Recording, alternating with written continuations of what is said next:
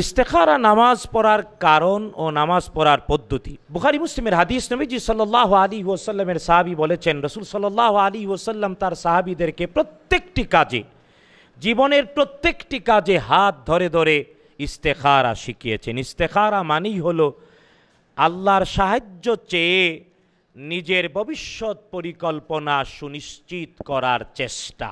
তার মানে আমি আগামীকাল পরশু অথবা সামনে কি করব। এই ব্যাপারে আমি আল্লাহর কাছ থেকে সুস্পষ্ট নির্দেশনা চাই। আর এই জন্যে দুই রাকাত নামাজ নবীজ ইসলাম শিখিয়েছেন, রাতে ঘুমানোর আগে ঘুমানোর আগে উজু করে দুই রাকাত নামাজ পড়বে ব্যক্তি। ব্যক্তি নামাজ যেভাবে পারে, সুরায় ফাতেহা পড়বে যে সুরা পারে। শুধু ইস্তেখা ভিতরে মনে মনে নিয়ত থাকবে, ইস্তেখার আর নিয়ত। ইস্তেখার আর নিয়তে দুই রাকাত নামাজে দাঁড়াবে, নামাজ শেষ করবে, শেষ করে হাত তুলে দোয়া করবে। কার কাছে? নবীজি ভাষাটাও শিখিয়েছেন, আরবিতে হলো আল্লাহ ইন্নি আস্তাখিরু কাবি আলমিক বিআন্নাকা তাআলাম ওয়ালা আলাম, বিআন্নাকা তাদরি ওয়ালা আদরি। মানে আরবিতে বলতেই হবে না নট নেসেসারি অনুবাদটা এইভাবে বললেই হয় যে, আল্লাহ আমি তোমার জ্ঞান দিয়ে ইস্তেখারা করছি, কারণ তুমি সব জানো, আমি জানি না।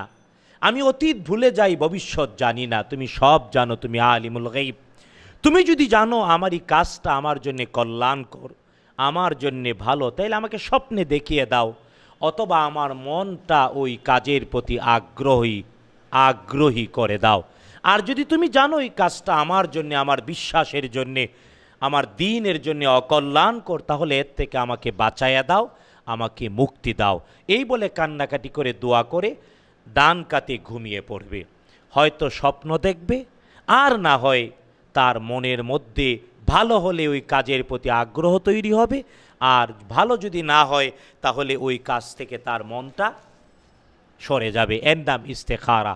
এটা একদিন না কন্টিনিউ বেজুর দিন করতে হয়। অনেকে আসে হুজুরকে দিয়ে ইস্তেখার ট্যাক্সিকে ভাড়া করে। না। নিজেরটা নিজেরটা, নিজে। এই নামাজে যে কোনো নির্দিষ্ট সুরা পড়তে হবে, না। সুরায় ফাতেহা এবং যে কোনো সুরা যে পারে এটাই করবে। শুধু নামাজ শেষ করে যায় নামাজে বসে কেঁদে কেঁদে দোয়া করবে। কার কাছে? নিজের আবেগ নিয়ে দোয়া করে ঘুমাবে। বেজুর দিন করলে হয় স্বপ্নে দেখবে, আর না হয় মনের মধ্যে তার ভালো হলে আগ্রহ তৈরি হবে, আর না হয় মন্দ হলে মনটা উঠে যাবে। এটা আমাদের করা উচিত। আল্লাহ তৌফিক দিক, আমিন।